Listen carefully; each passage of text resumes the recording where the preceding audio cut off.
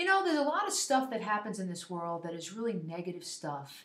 And when people start learning the law of attraction, they think, oh, so what does that mean? Everybody attracts it? And you know what? I'm not even going to say that right here, right now. What I'm going to say to you is, and this is what I teach my coaching clients as well, it's all about how you respond to what life throws your way, the attitude that you take on that determines what comes next. We all have a choice at that to change our response to what happens, the adversities, and turn them into opportunities, turn them into blessings. This is Maria Lesetz for Fox News at 10.